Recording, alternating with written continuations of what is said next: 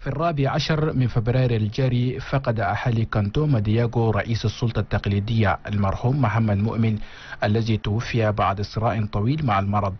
وجرت العادة بأن يتوج الإبن الأكبر على رأس الكانتون قبل أن يوارى جثمان الفقيد. وقد نظمت مراسم التعبين في أجواء هزينة حيث تم فيها تعيين مؤمن محمد مؤمن خلفا لوالده بموافقة من الأشيرة.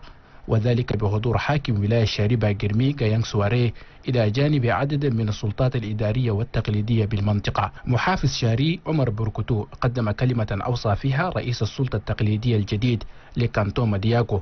الرجل ده أمانة عندكم؟ أنتوا الشعب أنا كانتون مدياكو.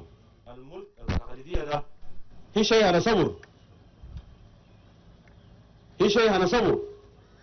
السميتة مش الما سميتة الشفتة مش الما شفتة انت هناك ده إلا لملكك. وبعد ذلك شيع الراحل محمد مؤمن إلى مثواه الأقير.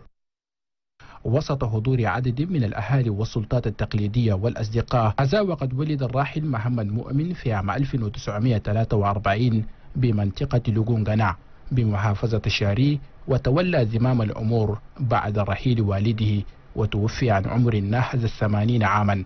وترك وراءه أربعين من البنين والبنات.